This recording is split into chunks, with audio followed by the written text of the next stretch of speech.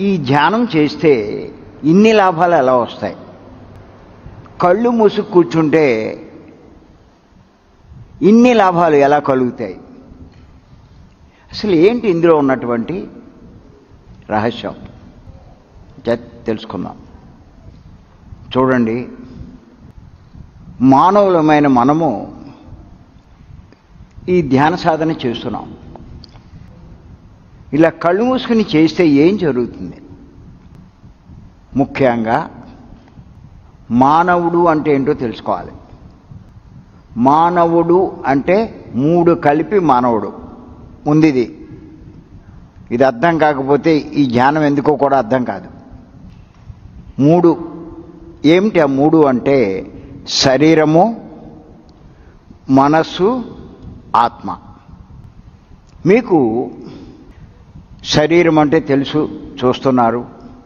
మనసు అంటే కూడా తెలుసు. ఆలోచనలు వస్తూ ఉంటాయి. ఆ మనసు మిమ్మల్ని ఇబ్బంది పెడుతూ ఉంటుంది. ఆ మనసుకు అశాంతి కలుగుతూ ఉంటుంది. ఇవన్నీ అనుభవిస్తున్నారు బాధలు. అంతేకాదు ఆత్మ. ఈ ఆత్మ గురించే చాలామందికి అవగాహన లేదు. ఏదో ఇందులోకి వచ్చాక కొంత ఆత్మ ఆత్మ అనే పదం వింటున్నాం కానీ అంతకుముందు వినలేదు. నేనైనా సరే ఇరవై ఏళ్ళ క్రితం పత్రికారు పరిచయం కాకముందు ఆత్మ అన్నది నేను ఎప్పుడు వినలేదు ఆ పదం. ఆత్మ అంటే ఏంటి? ఆత్మ అంటే పత్రి గారు జ్ఞాన నవరత్నాల్లో మనకి చెప్పడం జరిగింది. మీరు పాత వాళ్ళు ఎవరైనా ఉంటే మీరు అవి చదివి ఉంటారు. చాలా ఇంపార్టెంట్ పాయింట్లు అవన్నీ. ఆ తొమ్మిది కూడా. చాలా ముఖ్యమైనవి. ఫస్ట్ పాయింట్ ఏంటంటే ఆత్మే పరబ్రహ్మం అన్నారు ఆయన. ఆత్మే పరబ్రహ్మం అన్నారు. అంటే మానవుడు అంటే శరీరము మనసు ఆత్మ అంటే పరబ్రహ్మం. మూడు కలిపితేనే మానవుడు. ఇప్పుడు మనం పరబ్రహ్మ పరబ్రహ్మ గురించి తర్వాత తెలుసుకుందాం ముందు.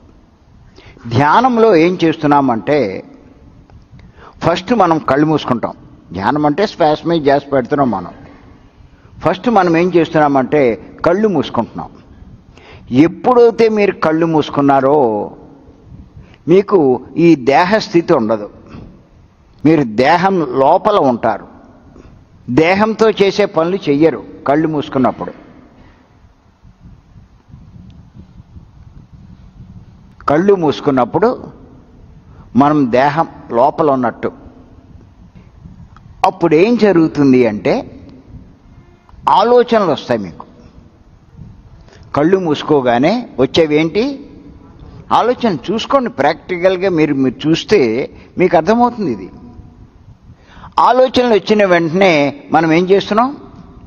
కట్ చేసి శ్వాస మీద పెడుతున్నాం.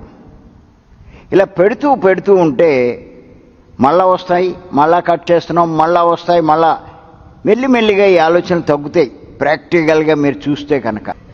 తగ్గి తగ్గి వెంటనే తగ్గచ్చు గంటలో తగ్గచ్చు ఓ రోజులో తగ్గచ్చు రెండు రోజుల్లో తగ్గచ్చు.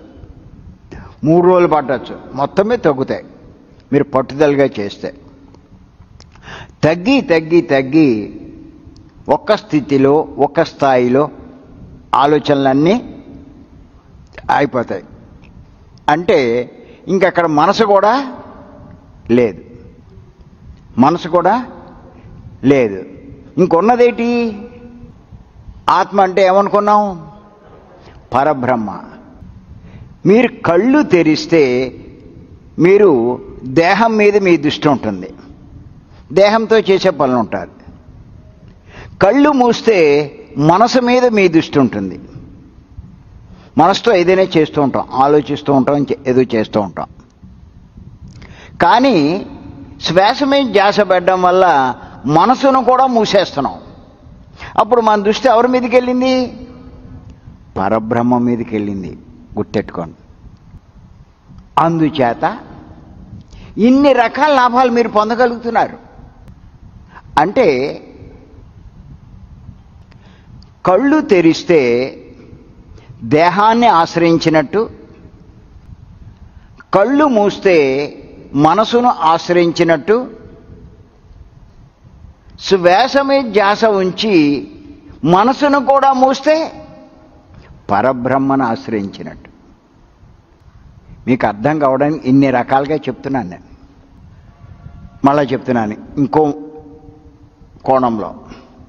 కళ్ళు తెరిస్తే మీరు దేహంతో ఉన్నట్టు కళ్ళు తెరిస్తే దేహంతో ఉన్నట్టు కళ్ళు మూస్తే మనసుతో ఉన్నట్టు శ్వాస మీద ధ్యాస ఉంచి మనసును కూడా మూస్తే ఎవరితో ఉన్నారు మీరు? పరబ్రహ్మతో ఉన్నట్టు. అంటే ధ్యానం అంటే ఏమిటి అంటే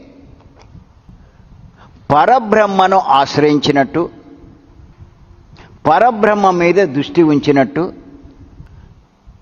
పరబ్రహ్మతో ఉన్నట్టు. ఇది అర్థం కాకపోతే ఇంకా మీరు చాలా జన్మలు తీసుకోవాలి. ఇది అర్థమవుతే మీరు ధన్యులే అదృష్టవంతులే. ఇప్పుడు నేను చెప్పేది అర్థం చేసుకోగలిగితే చాలా గొప్పవాళ్ళ కింద లెక్క మీరు. ఇది అర్థం కాకపోతే మీరు చాలా అజ్ఞానంలో ఉన్నట్టే లెక్క. చాలా మూర్ఖత్వంలో ఉన్నారు మీరు. ఇది అర్థమవుతే నేను చెప్పే ఈ టాపిక్ చాలా అదృష్టవంతులు మీరు. ధ్యానాన్ని వదలరు. ఇది అర్థం కానివాడు ఏం చేస్తాడంటే దేహ లాభాల కోసమే ధ్యానం చేస్తాడు. ఇప్పుడు నేను చెప్పే టాపిక్ అర్థం కాకపోతే ధ్యానం ఎందుకు చేస్తాడు? దేహ లాభాల కోసం చేస్తాడు. కానీ ఇది అర్థం కాకపోతే ఇంకొంతమంది మనోలాభాల కోసం ధ్యానం చేస్తారు. మనోలాభాలు అంటే ఏంటి? మనసు యొక్క కోరికల కోసం. నేను చెప్పింది అర్థమవుతే ఈ రెండు లాభాల మీద దృష్టి పెట్టడం ఆత్మలాభం. వీడు మోక్షాన్నే పొందుతాడు. మనకి ఈ రూపాయి నోట్లలో పది రూపాయలు ఉంటుంది ఇరవై ఉంటుంది యాభై ఉంటుంది వంద రెండు వందలు ఐదు వందలు వెయ్యి రెండు వేల నోట్లు కూడా ఉన్నాయి కదా. దేహ లాభాలు చూసేవాడు పది రూపాయలు నోటు సంపాదించుకున్నట్టు. మనోలాభాలు చూసిన వాడు ఇరవై రూపాయల నోటు సంపాదించుకున్నట్టు. పరబ్రహ్మను పొందడానికి ప్రయత్నించేవాడు రెండు వేల రూపాయల నోటు సంపాదించినట్టు. నా టాపిక్ అర్థమవుతే అర్థమవుతుంది. లేకపోతే నేను చెప్పేది ఏం అర్థం కాదు. అంచేత అంటే దీని అర్థం ఏంటి? రెండు వేల నోటు సంపాదించడానికి ప్రయత్నం చేస్తే అందులో అన్నీ ఉన్నాయి.